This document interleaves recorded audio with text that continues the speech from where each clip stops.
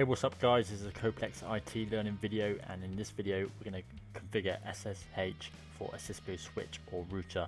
Now we're going to today we're going to use a 3550 switch but the same process could be applied to any router or switch here so let's get started. We're going to do five steps. We need to do the host name, a domain name, generate the key, create a user and also enable SSH on the switch. So let's get started. So let's put it up now. Right, let's go. So first thing we're going to do is the host name. So we type enable config t, take you to the global configuration, host name, and we're going to use Coplex. Okay, so now we're going to move over to the domain IP, sorry, the IP domain name. So we do IP, oh, domain hyphen name, and we're going to use coplex.co.uk. Great, so now we're going to generate the key. So we use the crypto command, crypto key, generate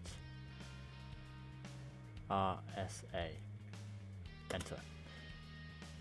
Oh, I already got one from a previous one, so let's just say yes, overwrite.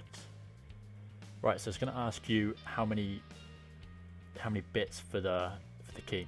So the bigger the number you put in, the stronger the key, but the more resources it's going to put on. Now, the most recommended is 1024. So I'm going to pop that in, enter. It will generate the key. It may take a few minutes, but on this switch you should just go straight through. Right, all done. Perfect. So now we will enable SSH, and that's done through the line VTY. So we type line VTY 015 because this switch has 15 channels of which you can remote into and we want to change it for, for the whole 15 so that's why I put the range 015 so we press enter. Okay, so we put transport, input, SSH.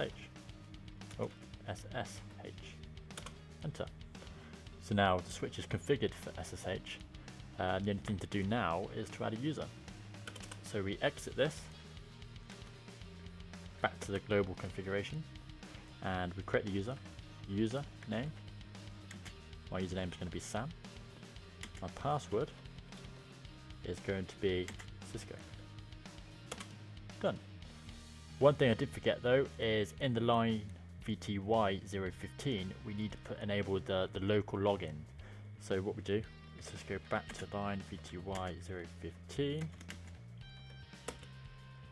and let's put local, oh sorry, login, local and what that does that just enables us to use the, the username and the password to log in on the remote connections. Without that this isn't going to work. So exit this back.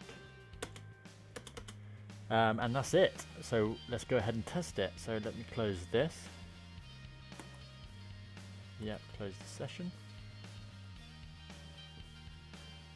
Okay so we're going to pull up PuTTY and we're going to test it out. So I've selected SSH port 22 is default. I'm going to put in the IP address 192.168.0.112 and I'm going to click open. Now if you haven't set up an IP address I will show you that in a second uh, but it's asking for my username so Sam password Cisco and we're in and that's how we set up SSH. Now I will just show you how to set up the pass sorry the IP address close this, pull PuTTY back up, and I'm actually going to use com.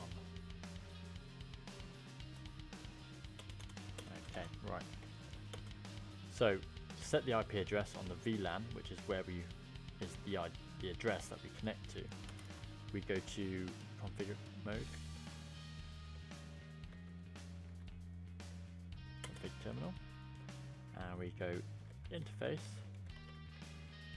VLAN 1 IP address 192.168.0.112 0.112 and the subnet mask of 255 255 255.0. Now this IP address will have to be in the same network as the computer you're remoting into unless you've enabled NAT and all that kind of stuff. But if you're on the same network, it needs to be on the same same IP range. Enter, and that's it, all done. Thanks for watching the video. Um, if you're watching on YouTube, please check out the website, uh, Coplex IT Learners, that's coplex.co.uk. We've got loads of great stuff on here. Check it out. Give us a thumbs up if this has helped, uh, helped you out at all. Uh, thanks for watching.